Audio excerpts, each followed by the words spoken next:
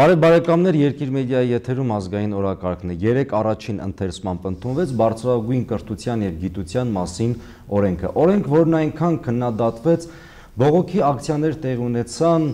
շատ աղմկարույց դրույթներ կային այդ օրենքում, բայց միևնույնն է, իշխանությունները հաղթական կերպով 77 կողմ ձայներով 35 դեմ եւ 1 ձեռնպահ համամասնությամբ բարձրագույն կրթության եւ գիտության մասին օրենքն ընդունեցին։ Օրենքն ընդունվեց, բայց օթում կախված մնացին բազմաթիվ հարցեր։ Թեմայի շուրջ այսօր կխոսենք, կքննարկենք ազգային տաղավարում իմ հյուրերի հետ եւ այսպես իմ հյուրերն են ազգային ժողովի լուսավոր Հայաստան խմբակցության падգամավոր Աննա Կոստանյանը, ողջույն, Տիկին Կոստանյան, Խաչատուր Ստեփանյանը, պատմական գիտությունների դոկտոր, Երևանի Պետական Մանկավարժական Համալսարանի համաշխարհային պատմության ամբիոնի վարիչ։ Ողջույն, պարոն Ստեփանյան եւ ԵՊՀ դոցենտ Մենուա Սողոմոնյանը։ Շնորհակալ եմ, ողջույն, շնորհակալ եմ իմ հրավերն ընդունելու համար եւ այսպես Տիկին Կոստանյան օրենքն ընդունվեց այն իր հիմքում ունի բարձրագույն կրթության եւ գիտության մասին հստակ զարգացման մասին հստակ հայեցակարգ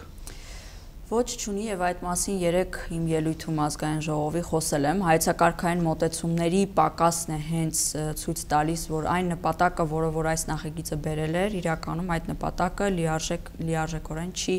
փակում ինչու որովհետեւ բա ինքը անունը հենց բարձրագույն կրթության եւ գիտության մասին օրենքի նախագիծ իրենից այդ կապը կրթության եւ գիտության այդպես հստակ չի արձանագրվում ինչու որովհետեւ առույցի բաժին օրենքի նախագծում նվիրված է բարձրագույն կրթության ոլորտի կարգավորման այսպես շատ կոնկրետ խնդիրներով իսկ գիտության հարցը այդպես էլ թերի է մնում օրինակ ասենք գիտական կազմակերպությունների նույն գիտությունների ազգային ակադեմիայի կազմում գտնվող ինստիտուտները, որոնք ակադեմիայի, այսպես ասենք, լուծարումից հետո պետք է գործեն անկախ, հստակ չի առաջարկում, թե ինչպիսի հարաբերությունների մեջ պիտի լինեն բարձրագույն կրթական բուհական հաստատությունների հետ։ Եվ այս մասով կարծում եմ հենց առաջին խնդիրը, որ կարող ենք արձանագրել, թերություն նախագծի էստեղ է իմ կարծիքով։ Դուք համապատասխան հանձնաժողովում եք աշխատում ազգային ժողովում։ Ձեզ որևէ բան հաջողվեց փոխել այս մեկ տարիների ընթացքում։ Գիտեք, ուրեմն 2019 թվականի, եթե չեմ սխալվում, փետրվար ամսից դեռևս երբ լսումներ հայտարարվեցին ազգային ժողով, ժողովում,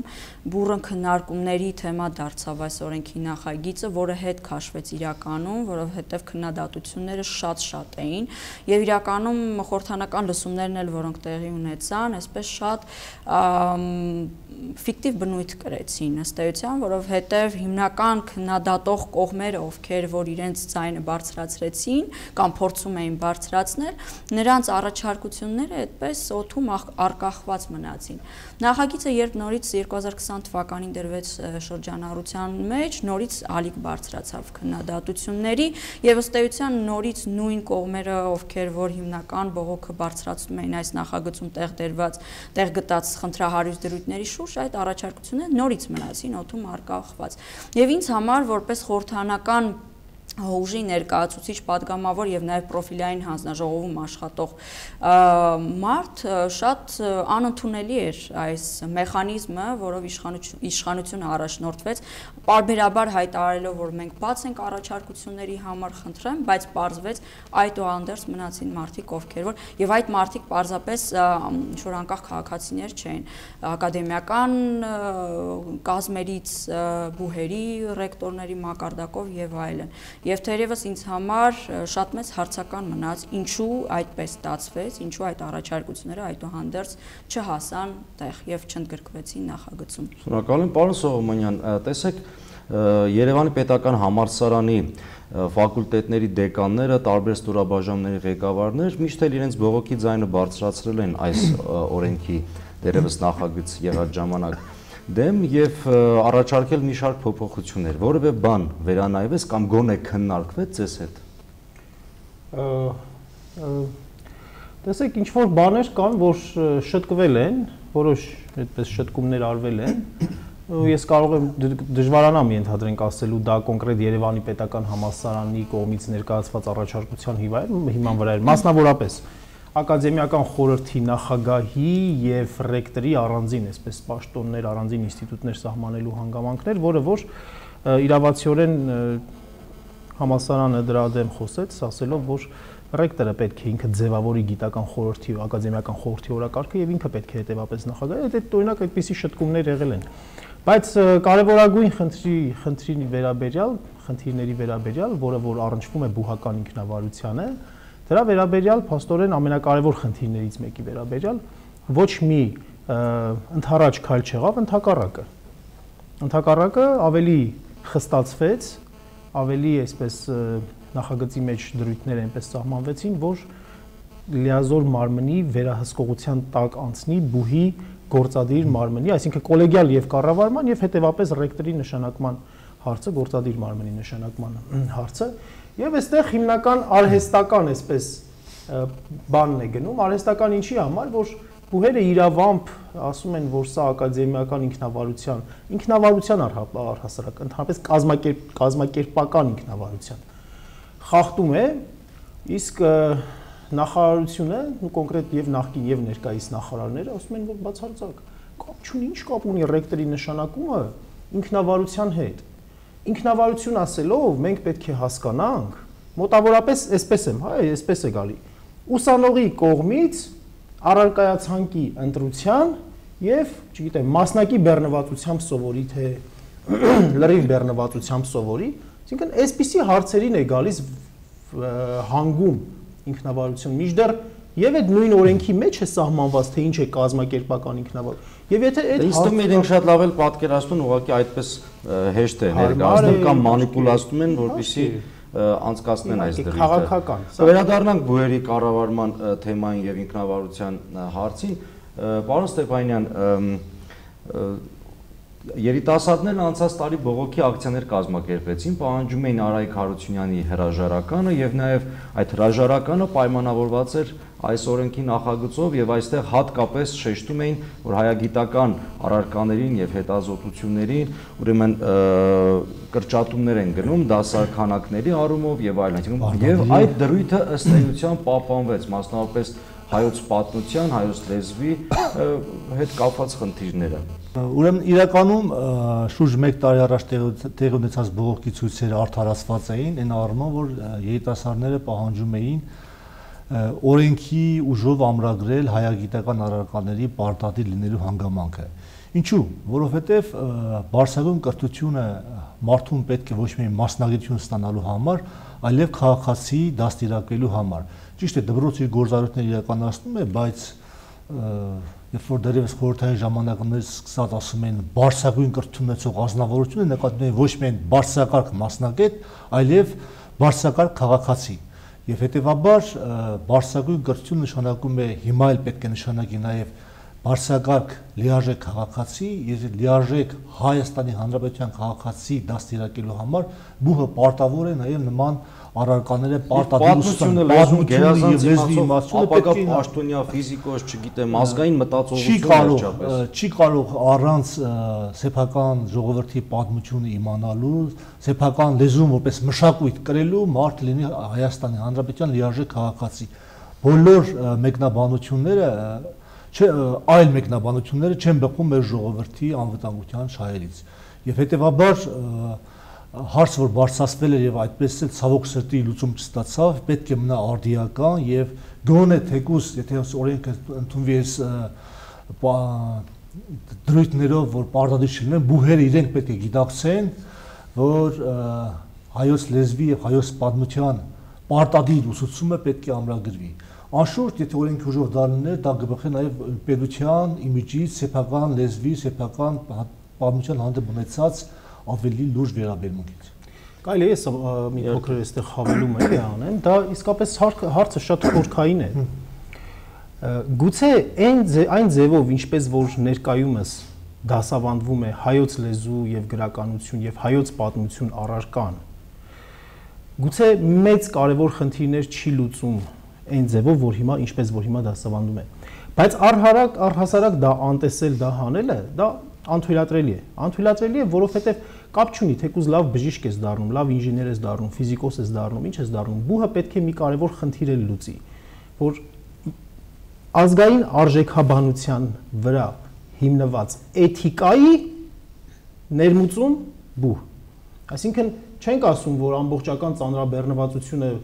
մասնագիտական կրթությունից տեղափոխել դաստիարակության վրա, ոչ քավլիցի։ Հայոց պատմության եւ հայոց լեզվի դասավանդումը պարտադիր չէ, որ միայն կարդալ պատմելով լինի այնքան հետարքիր լուծումներ, այնքան հետարքիր ձևեր կարող է լինել, որ եթե պետությունը բազմաթիվ բազմաթիվ թեմաներ, որոնք շատ արդյունավետ եթե տեսնում է, որ այդ արժեքաբանությունը, այդ էթիկան, որ պետք է անպայման լինի, համամարտկայինի հետ իհարկե զուգորդելով, եթե պետությունը այստեղ խնդիր տեսնում է, ուրեմն պետությունը պետք է քայլանի, այլ ոչ թե ուղղակի դնենք ու հանենք եւ վերջացնենք։ Այսինքն մենք բոլորս առաջարկում ենք, որ այո, բարեփոխման տեղ կա բոլոր հարցերում։ Հենց նույն այդ առարկաների դասավանդման հետ կապված բուհական ծրագրերում այդ առարկաների հետ կապված, բայց բարեփոխման փոխարեն դնել ու հանել այդ առարկաները կամ թողնել միայն ուսանողի ընտրությանը։ Վերջին հաշվով ուսանողները կարող է եւ չընտրեն։ Ուսանողները կարող է շատ բան չընտրեն։ Ես ուզում եմ այստեղ հիշեցնել նաև, եթե կհիշեք, երբ բարձրագույն կրթության եւ գիտության մասին օրենքի նախագիծը հանրային քննարկման առարկա դարձավ եւ քննադատության թիրախը հենց այս ուրեմն հայագիտական առարկաների ոչ պարտադիր լինելու հանգամանքն էր, եթե չեմ սխալվում, իշխանության ներկայացուցիչների նաև կառավարության կողմից հակադարձում եղավ, որ այ մենք պետք է հայա հայագիտական առարկաները այնքան ամրացնենք, ամրապնդենք դպրոցում, հանրակրթական դպրոցում, որ արդեն բարձրագույն կրթության մակարդակում ուսանողը էլ կարիք չունենա պարտադիր ձևով նորից դրանք վերանց։ Բայց ես ուզում եմ հիշեցնել, որ հենց ուղիղ 2019-ի առաջին քննարկումներից հետո, երբ նաև շրջանառության մեջ դրվեց հանրակրթական պետական չափորոշիչների նախագիծը, այդտեղ մենք եւս նկատեցինք նորից հայագիտական առարկաների հանդեպ, այսպես եթե կոպի չընչի ոտնձգություններ եւ դե, ուղությունը դեպի բնագիտական։ Իհարկե շատ լավ է, հատկապես այսօր հետ պատերազմյան այս իրավիճակում մենք պետք է հաշվի առնենք, որ այո, պետք է ամրացնենք բնագիտական առարկաները, բայց ոչ հայագիտական առարկաների հաշվ։ Եվ հետո հիշենք նաեւ, որ շատ բարձրաստիճան պաշտոնյաներ այսօր ոչ հայեցի են խոսում։ Այսինքն ոսկեղենիկ, այն ոսկեղենիկ Գերմանիկ հայերենը, որով ենթադրվում է, որ բարձրաստիճան պաշտոնյան, որը նաև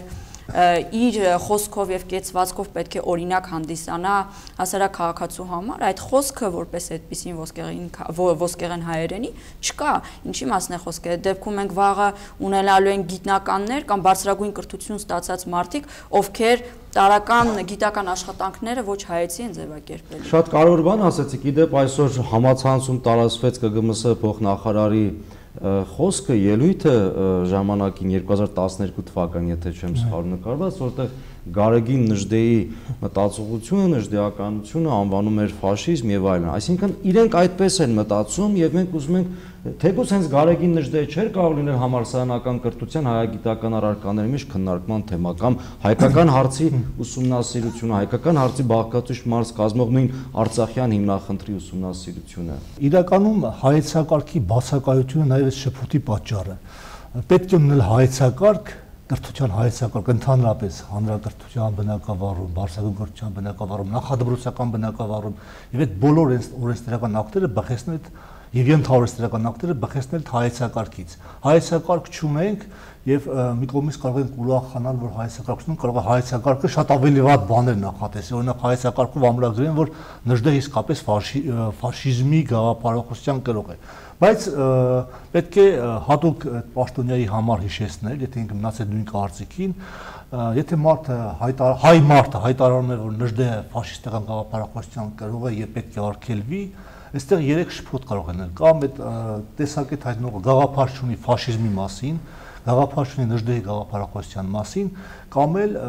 ինքը պարզապես հայատյաց է որովհետև Նժդեհի գաղափարախոսությամբ, նաև Նժդեհի գաղափարախոսությամբ տասնամյակներ շարունակ Սփյուռքում, նախ Սփյուռքում սերունդներ են դաստիարակվել, հայեր մնացել, եւ այդ հայ Սփյուռքը դարձել է գործոն Հայաստանի համար։ Իդեպ այսօր Նժդեի կարիք ունի։ Այսօր Հայաստանում, եթե հայրենասեր սերունդ կա, մի մասը կրթվել է Նժդեի գաղափարախոսությամբ։ Այսօր մեր բանակը Նժդեհի գաղափարախոսության կարիք ունի։ Նժդեհի հիշի պատերազմը գրվածքը մեր զինվորի աստ երկրորդ աստվածաշունչը պետք է լինի։ Ինչպես կարելի է Նժդեհի հանդեպ, Նժդեհի ուսմունքի, Նժդեհի գրվածների հանդեպ նման տեսակետ հայտնել։ Սա էլ բխում Բարսեղյուն կրթության հանդեպ ունեցած մեր ոչ ռազմավարական մոտեցումներից։ Բնակալ եմ խնդրեմ։ Հա, իսկապես շատ տարողունակ խնդիր է եւ հաշվի առնելով, որ նախկինում իշխող քաղաքական ուժը իր պաշտոնական գաղափարախոսության հիմքում դրել էր Նժդեհի գաղափարները եւ եկեք շատ չխորանանք, հա, բայց ինչ-ինչ քաղաքականության մեջ ձախողումները իդերև հանելով օպոնենտները քննադատելով քաղաքական ուժին չէին խորշում քննադատել նաև եւ ոչ միայն քննադատել, այլև ծաղրել հենց այդ ուժի հրճակած գաղափար, այսինքն գաղափարախոսությունը ինքը սկսում է արտավորել դա դրական էր որ իշխող քաղաքական ուժերի հղում անելով քաղաքական ուժի վարած քաղաքականությունը եւ մեր ցավալի պարտությունը վերջին պատերազմում ի թիվս այլ պատճառների պայմանավորված էր նրանով որ ադրբեջանը բոլոր առումներով շատ ավելի պատրաստ էր այդ թվում հենց նաև գաղափարական եւ դաստիարակության որ ուզում է ադրբեջանցի ֆիզիկոս լիներ ուզում է չգիտեմ ինժեներ ճարտարագետ լիներ ինչ կարգի միջազգային սիմպոզիումներով այդ մարդիկ ներկայացնում էին իրենց պետության տեսակետները հստակ ձևակերպված ցանկացած տիպի միջոցառման ժամանակ հնչեցնում էին այսինքն գաղափարական այդ պատրաստվածությունն էր նաև անկախ իրենց քաղաքական հայացքից եւ իրենց առաջին դեմքերը Թուրքիայի վարչապետը Ադրբեջանի նախագահը միշտ էլ չեն խորշել իրենց ազգայնական տեսակետները արտահայտել եւ հստակ ուղերձներ հղել իրենց հասարակությանը։ Մեր երիտասարդությանը դա ներկայացվում է որպես հնաոճ, որպես ոչ մոդայիկ, որպես ոչ առաջադեմ։ Դե դրա համար էլ է վերարժևորումից պետք է սկսել պետությունը կառուցել։ Այսինքն վերարժևորենք բոլոր այն մեր ազգային արժանինքները, արժեքները, որոնք որ կան, հասկանանք դրանք մեզ որ փուլում պատմության որ փուլում ինչի համար են պետք եղել եւ հիմա ինչի համար են պետք եւ առհասարակ մեզ հիմա ինչ է պետք, որpիսի որպես պետություն ոչ միայն կարողանան գոյատևել, այլ վերակառուցել եւ հզորանալ։ Սա կարծում եմ առաջնային նպատակ մեզ համար պետք է լինի եւ անդրադարձ կատարելով կրկին նախագծին ես ուզում եմ նաեւ այսպես հիշեցման կարգով, հա, իշխանությանը ասել, որ ցանկացած օրենք, որը գրվում է, բնականաբար միտում ունի, որ դա որպես գործիք պետք է լինի տվյալ իշխանության ձեռքում, սակայն պետք չէ մոռանալ, որ իշխանությունները հավերժ չեն եւ այդ նույն գրված օրենքները վաղը մահակի պես իրենց դեմ են կիրառվելու եւ այսօրվա նպատակները, որոնք որ, այո, Եվ այսօրվա նպատակները, որոնք որ հետապնդվում են հենց օրինակ այս օրենքով, շատ հանգիստ ապագայում կիրառվելու է նաև իրենց դեմ։ Նույն կառավարման խորհուրդների մասով։ Ուզում եի անդրադառնալ հենց կառավարման խորհուրդներին, որովհետև այս իշխանությունները միշտ քննադատել են նաև նախորդներին այդ հարցում, որ բուերի ինքնավարությունը, այսպես ասած, խլել էին իրենք իրենց ուզած մարդուն էին նշանակում հոգաբարձությունների խորհրդում, չնայած այս իշխանության օրոք նույնպես իշխանական մարդիկ են նշանակվել բուերի հոգաբարձությունների խորհրդում կառավարման մեջ, այնուամենայնիվ հիմա բերում են մի օրենք, որի մեջ կառավարման, ուրեմն կառավարման ձևը փոխվում է բուերի 9 հոկանոց խորհուրդներ են ձևավորվում, որտեղ 5-ը գերակշիռ մասը փաստորեն կառավարության եւ լիազոր մարմնի կողմից է նշանակվում։ Միայն լիազոր մարմնի։ Միայն լիազոր մարմնի իսկ առավել ուշագրավ էր նաև նախարարի հայտարարությունը, որ 9-0 իմ պատկերացման պետությունը ամբողջովին ինքը պիտի վերցնի կառավարման իր ձեռքում։ Խնդրեմ անդրադառնանք բուերի ինքնավարությունը ինչքանով է ոտնահարվում այս նախագծով, այս օրենքով։ Անկեղծ ասած, այո, ինձ համար էլ է շոկային նախարարի հայտարարությունը, որովհետև այդ պարագայում, երբ որ հայտարարում ես, որ բուհը 100%-ով պետության հիմնադրածն է, հիմնադրած կազմակերպությունն է եւ այդտեղ հետադարձ հայացք նետվեց խորթային միության տարիներին այդ դեպքում ես էլ կարծում եմ որ պետությունը այդ պարագայում պետք է ուրեմն 100%-ով պետ պատվերի շրջանակներում կրթությունը մատուցի իր քաղաքացիներին եթե այդպես է ուրեմն եկեք վերա վերանայենք բոլոր մոտեցումները մոտեցումները որը ունի պետությունը միության այո մենք չպետք է մոռանանք որ այո նախկին իշխանության ժամանակ երբ բուհերը ինչ ինչ որ առումով դարձել էին այսպես մահակ երիտասարդության համար, նաև գործիք օրվա իշխանության համար հիմա այդ մեխանիզմը ավելի է խստացում ինչու որովհետև այդ 9 թիվը որը նշվել է եւ նախարարը նշեց որ դա մոգական թիվ չէ այդպես օթից ընկած չհասկացա իրականում դրա սարկազմը ինչու՞մ էր կայանում որովհետև իմ կարծիքով նաև հաշվի չի առնվում բուհերի մեծությունը փոքրությունը օրինակ Երևանի պետական համասարային դեպքում պոլիտեխնիկ պոլիտեխնիկական համասարային դեպքում ճարտարագիտ տնտեսագիտական համասարանի կամ մեկ այլ բուհի որովհետեւ օրինակ ֆիզկուլտ ինստիտուտի, որի պարագայում միգուցե 9 թիվը 9 համակազմով խորհուրդ ունենալը ավելի նպատակահարմար կլիներ, բայց այստեղ ոչ միայն ռեկտորի ընտրությունը ուղիղ ստացվում է, որովհետեւ որքան էլ որ բուհը 3 տեխնացուների ներկայացնում է լիազոր մարմնի ընտրությանը, վերջնական որոշումը միանձնյա փաստորեն դուրս է գալիս լիազոր մարմնի ղեկավարի կողմից։ Եվ ստացվում է հոգաբարձուների խորհրդում 9-ից 5-ը հերիք չէ լիազոր մարմնի կողմից է նշանակվում ռեկտորն էլ, այսինքն այդտեղ սա ինչ ինչ է, եթե ոչ ուղիղ կառավարում։ Եվ ես չեմ զարմանում, ինչու, որովհետև նորից մտաբերեմ կառավարության այդ հարցու պատասխաններից մեկը արդեն նախկին նախարարի ժամանակ, երբ նախկին նախարարը, երբ հարց ըղեցի, որ ի վերջո Երևանի պետական համասարանում այդ ճգնաժամը երբ է վերանալու, երբ է իշխանությունը կամ կառավարությունը կամ լիազոր մարմինը մի մեխանիզմ գտնելու, որպիսի այդ ճգնաժամը վերանա եւ բուհի իր բնականon աշխատանքով գործի, նախարարի պատասխանն եմ հիշում, նախկին նախարարի, որ ասեց, ասեցի կարող է միգուցե ուղիղ կառավարության նշանակմամբ լինի եւ նա հաստատեց փաստորեն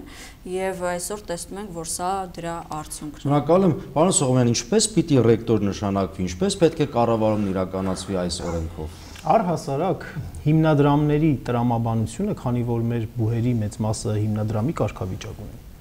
Տրամաբանությունը հանգում է նրան, որ հիմնադիրը երբ որ ստեղծում է տվյալ հաստատությունը,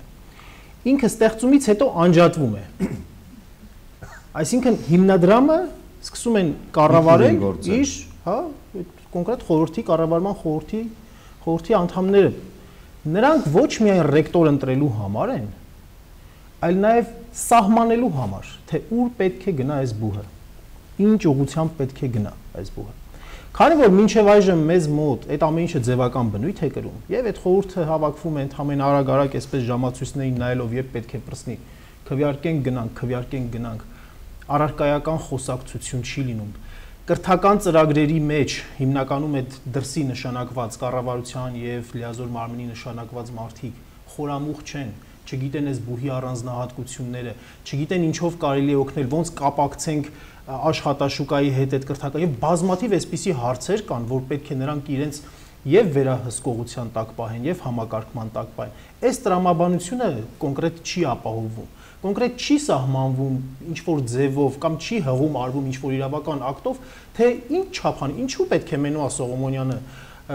կառավարության կամ լիազոր մարմնի կողմից նշանակվի կառավարման խորհրդի անդամ, Արթուր Մկրչյանը ոչ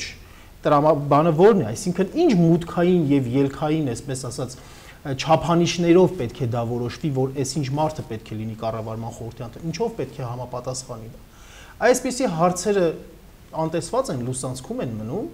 եւ կարեւորը որ հա ռեկտորը ընտրվի, ռեկտորը լինի իրենց մարդը եւ դա քաղաքական փաստորեն քաղաքական իշխանության տակ է գցում, ենթակայության տակ է գցում բուհը ու դրանով մտցնում է турբուլենտության մեջ, պերմանենտ турբուլենտության մեջ, որ երբ քաղաքական իշխանություն կփոխվի, կփոխվեն նաև բուհի ղեկավարները եւ այսպես բուհը կընկնի այդպես турբուլենտ վիճակների մեջ։ Իսկ թե ինչպես պետք է իրականում ընտրվի այդ ռեկտորը, դա իսկապես ռեկտորը պետք է ընտրվի այն մարդը, որը կբավարարի այն բոլոր չափանիշներին, Ինչ չափանիշներ են այս օրենքով դրվում ռեկտոր տեխնացուի առաջ։ Ահա, այդ չափանիշները, գիտեք, դրանք ֆորմալ չափանիշներ են։ Տարիքի հետ կապված չափանիշ է, պաշտոնավարման հետ կապված չափանիշ է, բայց իրական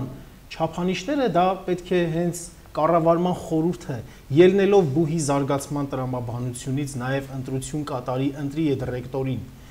իսկ ռեկտորն էլ պետք է այսպես ասեմ շատ մտածելով գա եւ Դուք լավ բան եք ասում, բայց ունենք այն ինչ ունենք եւ փաստորեն այս օրենքը նույնպես լուծում չի տալիս խնդրին։ Այո։ Էլ ավելի է բարթաստում կառավարման վիճակը։ Իհարկե։ Ես կասեի ոչ միայն կառավարման, իրականում այս օրենքի ինձ համար թերևս կարևորագույն խնդիրներից մեկը այն է, որ չկան վերլուծություններ, չկան կանխատեսումներ, չկան հստակ օրինակ հետազոտություններ, ինչի ինչի վրա հիմնվելով կկազմվեր այս նախագիծը եւ որոշակի արդյունք գոնե կկանխատեսեր ապագայի համար, այսինքն կան մասնակի հատվածական լուծումներ, որոնք բերվել են եւ այդ լուծումները կոնկրետ խնդիր լուծելու համար են բերվել նորից վերադառնում ենք հայեցակարգի բացակայության, որ չկա հիմքում դրված հայեցակարգ։ Բայց ես օգտվելով առիթից ասեմ, որ նախարարությանն էլ ես հիշեցնում եմ, որ այդ նույն նախարարությունը 2015 թվականին, 2012-15 թվականների մի պրոյեկտի, Tempus պրոյեկտի շրջանակներում, որը նվիրված է եղել հենց բուհական ինքնավարությանը, այնտեղ մոդելներ են առաջարկվել։ Եվրոպական տարբեր երկրների մոդելներ այդ հարցը լուծելու համար։ Կա որ մի մասը այո համասարանից, մի մասը նախարարությունից, մի մասը բանակցվում է նախարարության եւ համասարանի միջև արտաքին անդամներին նշանակում են համասար բազմաթիվ այդպիսի մոդելներ կան դրանք բոլորը անտեսվեցին եւ ինչպես իրավացիորեն նկատեց Տիկին Կոստանյանը բոլոր տեղերում 9 հոգի 9 հոգի Երևանի պետական համալսարանի պարագայում, որ ունի 54 բակալավրի կրթական ծրագիր, կկարողանա պատկերացում կազմել այդ ինչ է։ Գեղարվեստի ակադեմիայի պարագայում միգուցե նորմալ է։ Հա, այսինքն ասեմ ավելին խոսք է գնում պարոն Ստեփանյան, որ կարող է բուերի միավորում տեղ ունենա եւ այս օրերին նաեւ թատերական ինստիտուտի ուսանողները բողոքի ձայն են բարձրացնում, որովհետեւ իրենց ականջին լուրեր են հասել, որ իրենց ինստիտուտը կարող է լիցենզիա լիցենզիա չստանա եւ միավորվի, այսինքն նաեւ այդ խնդիրն է քննարկվում։ Իրականում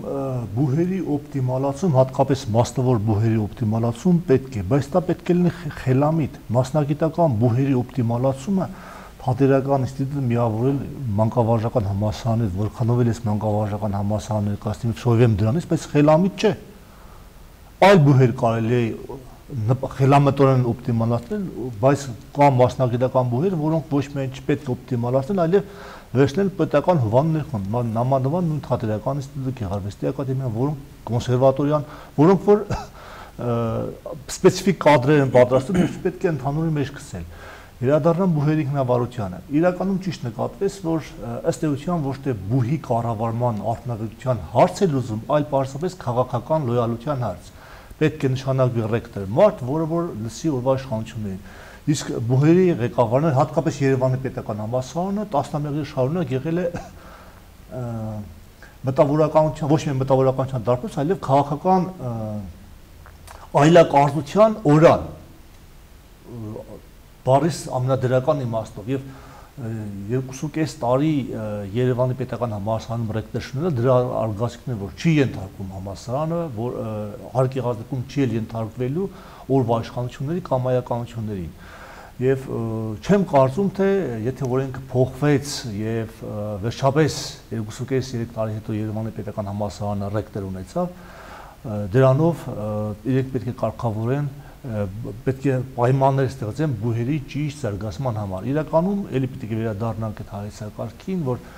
բուհի խնդիրը ոչ թե օրվա իշխանություններին ծառայելն է, այլ Հայաստանի Հանրապետության վաղվա համար մասնակետ քաղաքացի ապահովելը։ Եթե մենք չփորձենք զատել բուհը, կրթությունը քաղաքականությունից, մենք գնալով, ինչպես ճիշտ ասած, անընդհատ ավելի կատարելագործված ծանր իրավական ակտեր ենք ստեղծելու մեր համար։ Ես հիշեցի մի կարկախոս, որ այսպես ասած հեղափոխության կամ իշխանապողության օրերին հնչում էր ազատ անկախ ուսանող։ Ինձ համար մինչև հիմա անհասկանալի է թե այդ ուսանողները ինչով էին կաշկանդված, այդ ումից էին ազատանում, անկախանում եւ հիմա ուղղակի հարց եմ ուզում հղել այդ ուսանողներին։ Այս նախագծով ազատ անկախ ուսանող թե այսպես ասած շղթայված բու ուսանող եւ լավագույն դեպքում ուսանողությունը մեկ ձայն մեջ գտնվող իշխանություններից բուհական համակարգ։ Ուսանողությունը լավագույն դեպքում մեկ ձայն կունենա, իսկ նախկինում մինչև 25% ներկայացված էր եւ պետք է անկեղծ լինենք, որ մենուանից կհաստատի, որ եղանակ են ստեղծում այդ խորհրդում։ Որքան էլ ուսանող լինեն, իրենք եղանակ են ստեղծում Ես համաձայն եմ, գուցե 25% թե լինի, թե 10% լինի, սա մտածելու քննարկելու հարց է, այդպես Այսինքն ինչ որ մի նպատակ պետք է դնել սրա տակ, էլի, որպեսզի ասենք ինչ քանի տոկոս ենք տալիս ուսանողներին, միջին եվրոպական, այսպես ասած, փորձն եմ ես ասում, ուսանողների մասնակցությունը 10%-ի շեմը չի գնահատում կառավարման խորհուրդներում։ Հարցի մյուս մասը, որ ասացիք, ազատ անկախ ուսանող այդ կարգախոսը քաղաքական կարգախոս էր եւ դա նախորդ իշխանությունների կառավարման վերջին շրջանում թմբկահարված, տիրաժավորված կարգախոս էր եւ փաստորեն բուհի խնդիրները շահկապելով, բուհի ինչ որ խնդիրներ շահկապելով, քաղաքականացնելով դա պարզապես նպատակ ուներ երիտասարդության ուսանողության մոբիլիզացիա ապահովել, ինչին որ կարողացան հասնել, բայց հիմա թող հետադարձ հայացքով նայեն 3 տարվա ընթացքում ինչ նշանակալի առաջընթաց է տեղի ունեցել կրթական ծրագրերի որակի մեջ ուսանողների ազատությունների մեջ եւ եւ մնացած այլ բաների մեջ ինչ է եղել ոչինչ էլ չի եղել որովհետեւ այն ամենը ինչը որ նպատակ չունի եւ քաղաքական նպատակներով է թմկահարվում ու տիրաժավորում դրան պետք է հանգեցնի եւ շատ ներողություն եմ խնդրում բուհերի միավորման հարցի հետ կապված էլ այդ միավորումը չպետք է դիտարկել, որ այսպես միայն կարելի է բռնել եւ երկու բուհի ինքնությունը վերացնել, նոր ինքնության բուհ ստեղծել։ Դրա հետ կապված էլ 2017 թվականի վերջերին կրթության նախարարությունը համաշխարհային բանկի ֆինանսավորմամբ մի ծրագրի մեջ էր, որտեղ որ մասնագետները եկի գալիս եւ խորհուրդ էին տալիս, թե միավորման ինչ տեսակներ կան, ինչպես կարելի անել։ Կա որ պարտադիր չէ, որ միայն պետք է այսպես իրար հետ միաձուլել։ Կա որ կարելի է ենթակառուցվածքները իրար հետ կիսել այդ այդ ձևաչափով կա որ կարելի է համատեղ կրթական ծրագրեր իրականացնել այսօր Հայաստանի բուհերը արտասահմանյան բուհերի հետ ավելի շատ են համատեղ կրթական ծրագրեր իրականացնում կրկնակի դիպլոմով ծրագրեր կամ ընդհանուր դիպլոմով ծրագրեր քան մեր երկրի ներսում այսպիսի ավելի հեշտ բաներից պետք է սկսել որ վերջում գալ եւ միավոր թե չէ ես ընդհանուր առմամբ օպտիմալացմանը ես դեմ չեմ եթե դա պետք է բերի կրթության որակի բարձրացմանը երկու կողմերում էլ լավ դասախոսների պահպանանում, լավ ուսանողների պահպանմանը նախ լավ ցանկություն է պետք այդ ամենի համար, կամք այո, կամք եւ ցանկություն է պետք իրագործել։ Տիկին Կոստանյան, տեսեք, այս օրենքով փաստորեն Երևանի պետական համալսարանին տրվում է հատուկ կարգավիճակ Կարծես թե ձեր խմբակցությունը կամ գոնե Գևորգ Գորգիսյանը համաձայն չէր դրա հետ, ինչու։ Պարոն Գորգիսյանը սուր արտահայտվեց իրականում Երևանի պետական համալսարանի կարգավիճակի հետ կապված իր խոսքի հիմքում ի նկատի ունենալով այն հանգամանքը, որ որևիցե բուհ մեկը մյուսից պետք է գերակա չլինեն, բայց այստեղ նաև նկատի ունենք եւ պետք է նկատի ունենանք, երբ որ կարգավիճակը հատուկ ենք դարձնում, որ այդ համասարանը իր պատմության ընթացքում իր սեփական ռեյտինգը վաստակել է եւ այդ պարագայում այո, ինչու ոչ կարող է ունենալ հատուկ կարգավիճակ, բայց այդ կարգավիճակի մասին էլ այդպես շատ հպանցիկ եւ կարճ ձևակերպմամբ անդրադարձ է կատարված նախագծում եւ իրականում չի էլ հասկացում ինչ նկատի ունենք հատուկ կարգավիճակ ասելով։ Կարծում եմ այս դրույթը եւս կարիք ունի վերանայման, առնվազն գոնե հասկանալու, թե դրա տակ ինչ միտք է դրվում հատուկ կարգավիճակ ասելով եւ ինչ նպատակ է այն հետապնդելու։ Եվ իրականում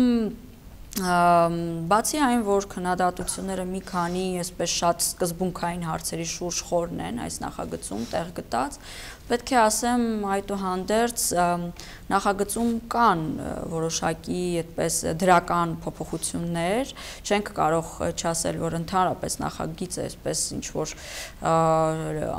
ամբողջովին խնդրահարույց է, որովհետև իրականում նաև լայն հնարավորություններ է ստեղծելու ուսանողներին միևնույն ժամանակ տարբեր բուհերում կրեդիտներ հավաքելու միջոցով ուսումը շարունակելու, բայց միևնույն ժամանակ կան նաև ռոտացիոն համակարգի համակարգի, այսինքն փոխատեղման համակարգի վերացման այսպես ազդարարումը այս նախագծում, չնայած նախագիծը պաշտպանող թերս համազեկուցող պատգամավորը իշխանության ներկայացուցիչ այդպես էլ չընդունեց եւ իրականում չհիմնավորեց արդյոք եթե ռոտացիոն համակարգը մնում է այդ ձևակերպված, եթե չեմ սխալվում, օրենքի նախագծի 37-րդ հոդվածում էր այդ ձևակերպումը կրթաթոշակներին վերաբերվող, ինչպես է հիմնավորվում ռոտացիայի պահպանումը նախագծում, մինչդեռ իրավաբանները ասում են, որ այդ դրույթը ռոտացիայի մասին չէ։ Իսկ ինչի համար է ռոտացիան։ Ռոտացիան ոչ միայն ուսանողին խրախուսելու, մոտիվացնելու, որպեսզի ձգտի ավելի լավ սովորի, որպեսզի կարողանա փոխադրվի անվճար համակարգ, այլ նաև այդպես ինչ որ առումով շարունակականություն ապահովելու նպատակ էր հետապնդում եւ այդպես վերցնել ուղակի համակարգը խարխլել իմ կարծիքով ճիշտ քայլ չեն հետապնդում Ընտրեմ պարոն Սողոմոնյան, ձեզ համար པարզ էր կարգավիճակի տակ ինչ պետք է հասկանալ, դա ինչ առավելություն է տալիս Երևանի պետական համալսարանին եւ կամ ինչ դրական նորամուծություններ կան։ Ուրեմն 2018-ի փետրվարին ձեր նշած քաղաքական իրադարձություններից քիչ առաջ, երբ որ պատրաստվում էր Բարսագույն կրթության, Բարսագույն եւ հետբուական կրթության, այսինքն գործող օրենքի խմբագրված տարբերակը նոր խմբագրության, որ պետք է քննարկվեր, հենց նախկին նախարար Արայիկ Հարությունյանը հենց այդ կետին էր ամենաշատ սուր կպնում, քննադատում, ասում էր այդ այդ կարգավիճակի հանգամանքը ֆիքսվում է, որ เป զի Սերժ Սարգսյանը միշտ մնա հոգոբարձուների խորհրդի նախագահ եւ Երևանի պետական համասարանը միշտ պահի, այսպես ասենք, իր Ես իհարկե դա չեմ ընդունում, կարգավիճակը, հատուկ կարգավիճակը չի վերաբերում իհարկե նրան, որ Եթե Երևանի պետական համալսարանը անգամ վատ կատարողականի ցուցանիշներ ցույց տա, նրա փողը ֆինանսավորումը պետք է տրվի, բայց մանկավարժականը եթե լավը ցույց տա, մանկավարժական դա չի վերա։ Սա պետք է պետության վերաբերմունքը պարզապես արտահայտի համազգային այդ կարևորագույն կառույցի, որը անցած դարի ընթացքում կարևորագույն նշանակություն է ունեցել մեր պետականաշինության, տնտեսության, անվտանգության, մշակույթի, բոլոր բոլոր ազգակերտման ոլորտներում այդ դա պետք է անի։ Մի կողմից դեկլարատիվ տեսնում ենք այդ ամեն ինչը, չտեսնելով հետևում ինչ են նախատեսել։ Մյուս կողմից տեսնում ենք, որ համասարանի ոչ մի բան գուցե համասարանի 100-ամյակին այդքան խեղճուկ ու անտեսված մոտեցում, որ կրթության նախարարը եւ ազգային ժողովի նախագահը համասարանի 100-ամյակի գիտխորհրդի հանդիսավոր նիստին լինելով համասանական մասնակցում են ընդամենը 20 րոպե եւ H1 հերոստանգերությունը հայ հանրայինը ընդամենը 1 րոպե է նվիրում համասանի 100-ամյակի այդ կարևոր իրադարձությունը լուսաբանելու։ Պետք է ոչ միայն հրճակագրով, ոչ թե հրճակակ հրճակումներով դա ցույց տալ, այլ պետք է իսկապես գործով այդ ամեն ինչը ցույց տալ։ Այնինչ այսօրվա դրությամբ, ինչպես Երևանի պետական համալսարանը, այնպես էլ այլ բուհեր մրցակցային առումով ավելի ոչ շահեկան վիճակում են գտնվում, քան մի շարք միջպետական համաձայնագրերով կամ պետության մասնակցությամբ ստեղծված բուհերի հետ կապված թե ամերիկյան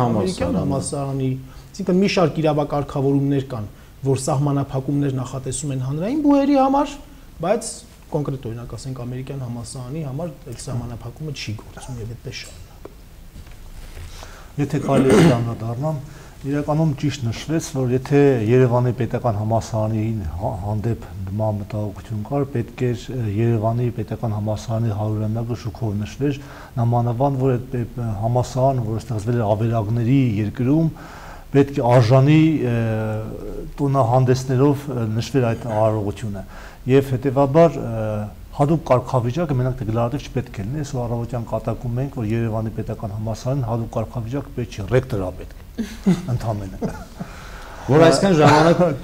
չեղավ իսկ հadoop կարգավիճակ կարելի է տալ մարզերին միգուցե մի փոքր շեղում եմ թեման բայց մարզային բուհերին պետք է իսկապես լուրջ ուշադրություն դարձնել եւ դա շատ լավ կնա նաեւ օրենսդրական ամրագրում ունենա մարզերը որ որտեղ որ մտավորականության պակաս կա բուհերը պետք է ուժեղացնենք որպեսզի մտավորականության կոնսոլիդացիան լինի մարզերում Նամանավանդ որ մեր մարզերը, որոնք որ նաև սոցիալական ծանր պայմանների բերումով չեն կարողանում մայրաքաղաք ուսանող ուղարկել, հենց մարզերում տեղերում կարող են այդ իրենց բարձրագույն կրթություն ստանալ հնարավորությունը օգտագործել։ Ինչու ոչ նաև օրինակ Գյումրին կարելի է դարձնել տարածաշրջանային համասարանական կենտրոն որոր թե Գյումրի ինչքան որ մշակութային քաղաք դարձավ կամ մշակույթի նախարարությունը այդ աշխատենք այդ ուղությամբ ոչ թե եթե հadoop կարգավիճակ ենք ուզում Գյումրի Շիրակի պետական համալսարան թողտրվի հadoop կարգավիճակ որը նաև ուրբանիզացիայի հարց կարող է լուծել, նաև մտավորականության ուրբան դեուրբանիզացիայի հարց կարող է լուծել, որը որ ազգային անվտանգության ռազմավարական խնդիրի լուծումն է։ Դու տարածքային զարգացման ուրեմն այդ պլանների համատեքստում կարելի է նախատեսել օրինակ այո բուհերը ամրացնել։ Կարելի է, բայց կամպուսների մասին է խոսում իշխանությունը շատ, որ կամպուսներ պետք է ստեղծել, նույն կամպուսները կարելի է ստեղծել հենց մարզերում, այդպես նաև ակտիվացնելով այո մտավորականության մտավորականությանը զարգ տալ, այնտեղ ուսանողական կյանքը եռա եւ արդեն դրանից բխելով էլ համապատասխան ենթակառուցվածքները պետությունը արդեն կպլանավորի, որպեսզի զարգացնի, որ այդտեղ յուրաքանչյուր մարզում, յուրաքանչյուր ինչ որ համայնքում ավելի ակտիվ կարողանա Շատ ճիշտ եք ասում, բայց սրանք կարծես թե դարձել են մեզ համար արդեն երազանքի ժանրից այս խոսակցությունները, որովհետեւ տարածքային համաչափ զարգացման մասին միշտ խոսում են, բայց զերո քայլ, խոսվում է բուերի ինքնուրույնության մասին ընդհակառակը կրճատվում է դա եւ այսօր կողքից նայելով կարծես թե այն տպավորություն է որ քաոսային իրավիճակ է տիրում բուական համակարգում եւ անընդհատ խնդիրներ են ստեղծվում բուերի համար հենց երեք տեղի ունենում ցույցեր օրինակ հայ-ռուսական այդ համալսարանը կապված ռեկտորի հետ թատերական ինստիտուտում Գյումրի մանկավարժական համալսարանի այս թեմաները մի պա կարծես դադար են արել, բայց վերջնական հանգուցալուծում չեն ստացել, այո։ Էլ չեմ խոսում Երևանի պետական համալսարանում ստեղծված իրավիճակը, որ գոյություն ունի տևական ժամանակ։ Դե քաոսային իրականում չեմ կարող այդպես որակում տալ, քաոսային, եթե քաոսային չէ, կերկին այստեղ պետության մոտեցման հարցն է, այսինքն պետությունը ինչ մոտեցում որ ցուցաբերում է, պետությունը, եթե պետությունը այդտեղ այդտեղ էլ իրականում, եթե պետությունը այդտեղ էլ գոյություն չունի, այո, ինքնին քաոս է ստեղծվելու։ Պետությունը պիտի հասկանա եւ արժևորի եւ կարևորի բուհական համակարգում իր մոտեցումները, ըստ այդմ էլ արդեն քաոսը ինքն իրեն կվերանա կամ չի վերանա եթե շարունակի նույն տրամաբանությամբ գործել գիտեք ինչու է այդպես որովհետև պետական պաշտոնյաները իրականում իրենք սովոր չեն եղել այս անցած տասնամյակների ընթացքում նրանց մի զգալի մասը մեծ մասը իրենք իրենց մեջ պետությունը չեն կրել իրենք պայքարել են պետության դեմ իբր թե պայքարելով իշխանության դեմ իրականում նրանց քայլերի բոլոր տրամաբանության տրամաբանությունը հանգեցրել է պետության դեմ պայքարին, պետությունը քանդելու։ Եվ նրանք փաստորեն կամ նրանց մի մասը, ինչ որ մի զգալի մասը, տոն տվող հատվածը իրականում ատելություն ունի պետության նկատմամբ։ Գուցե դա իրենց կողմից գիտակցված կամ չգիտակցված կամ իներցիայով է այդ ամեն ինչը դրսևորում, բայց արդյունքը դա է որ պետությունը հանդեպ ունեցած ատելությունը վերածվել է պետության հանդեպ ատելություն։ տրանսֆորմացվել այդ սահմանը որ տրանսֆորմացվել է այո դա։ Եվ իրենց այդ ինքնության մեջ դա այդպես նստած է։ Պետությունը վատ բան է։ Պետությունը ասոցիացվում է միայն բռնության կիրառման հետ, այսպես ասած է։ Պարոն Սողոմոնյան, Երևանի պետական համալսարանում հիմա ինչ մտնոլորտ է, ինչ խնդիրներ կան։ Երևանի պետական համալսարանում այս պահին հանգիստ է այնքանով, որքանով դասերը հետպես հերավար կայանում են, կոլեկտիվը ինչ որ կերպ այդպես անում է իր գործը։ Այսինքն այսօր Երևանի պետական համալսարանում կա պարզապես օպերացիոնալ կառավարում։ Մի ռիթմի վրա, մի բանի վրա այդպես կառավարում։ Զարգացման միտված կառավարում չկա։ Զարգացման դեպի զարգացում տանող պլանավորում չկա Արդեն 2021 թվականն է, 2020 թվականի ռազմավարական ծրագիրը, որը ինչ որ չափով էլ ըստ էության կիսատ է մնացել, մինչև 2016-20 թվականի ծրագիրը կիսատ է մնացել կատարվելու տեսանկյունից,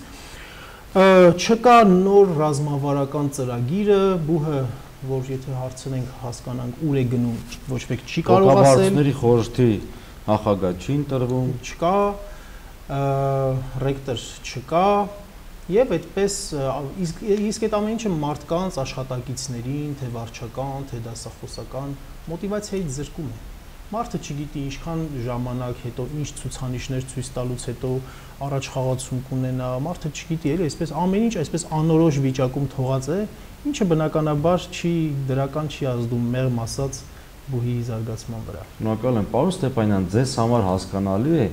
ինչու են նախքին որոշ համալսարանականներ այդքան անտարբեր իրենց բուի հանդեպ։ Չէ՞ որ նախարարներ կան, վարչապետը վերջին հաշվով դիպլոմ չստացավ, բայց սովորեց այդ համալսարանում կրթության նախկին եւ ներկա նախարարները համալսարանականներ են, ինչու այդ անտարբեր վերաբերմունքը կա սեփական կրթօջախի հանդեպ սեփական ծնողի հանդեպ այս իրականում ես պետք է թերևս փիլիսոփայական պատասխան տամ դրան որովհետեւ իրենք թող սուրճ հնչի սուրճ ընկալվի ատում են դա իրենք չեն համարում իրենց է դա իրենք չեն փորձում նույնականացնել համասարանի հետ իրենք իրենց այդ կյանքի մի դրվագ, որ անցել են համասարանում, իրենց համար չի կապվել ըստ էության, չի մերվել համասարանի հետ։ Եվ ըստ էության, եթե ավելի սուր լինեմ, հավանաբար իրենք հանձնարարություն ունեն դա ինչպես այլ ոլորտներ քանդելու։ Դուք մենք խոսում ենք քաոսից, քաոսը ամենտեղ։ Զորակոց զորահավաքը քաոս, գերների վերադարձը քաոս, սոցիալական ապահովության խնդիրը քաոս, քաոսը ամենտեղ եւ մարդիկ քանդելուց հաճույք են ստանում եւ սիրել սեփական մայր բուհը սեփական բուհը դա նշանակում է որ քարը քարի վրա դնել իսկ իրենք թույլ տրվի ասելու եկել են ոչ թե քարը քարի վրա դնելու այլ ինչքան քար գա քանդելու Փանջունիների ժամանակներում ենք ապրում Տիկին Կոստանյան։ Ինչ անում Ծապալվարից որ մեր բուհը կրկին ունենա ծրագիր ռազմավարություն մեջ կողի հպար ժպիտով քայլի առաջ։ Մեր 100-ամյա փառավոր Երևանի պետական համալսարանը։ Կարծում եմ, այստեղ շատ կարևոր է ոչ միայն քաղաքական գործիչների այս հարցում հետաքրքրվածությունը, այլ նաև նույն ուսանողության, որովհետև ուսանողությունը բոլոր ժամանակներում շարժող ուժն է եղել Եվ իրականում ինձ մի փոքր հուսալքում է մեր ուսանողության այդպես երբեմն իներտ այո վիճակը եւ ես կոչ կանեի ուսանողներին ավելի ակտիվ, պրոակտիվ լինել, որովհետեւ բուհական կրթությունը ապագայի տոմսն է։ Եվ եթե բուհական կրթությունը